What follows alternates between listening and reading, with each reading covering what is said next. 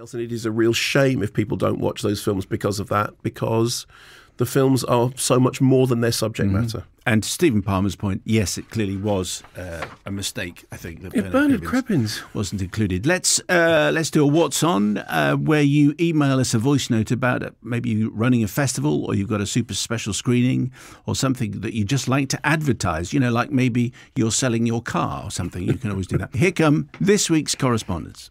Hey, Mark and Simon. We have a special screening of our independent feature film Casting Kill on Friday, the 3rd of March at the Courthouse Hotel in the West End of London.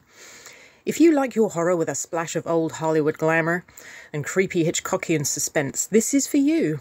After you've experienced the scares, there's a Q&A session and a chance to meet the actors and mingle in the bar. For tickets, search online for Casting Kill movie or check out rayafilms.com forward slash casting kill. That's Raya Films, R A Y A Films.com forward slash casting kill.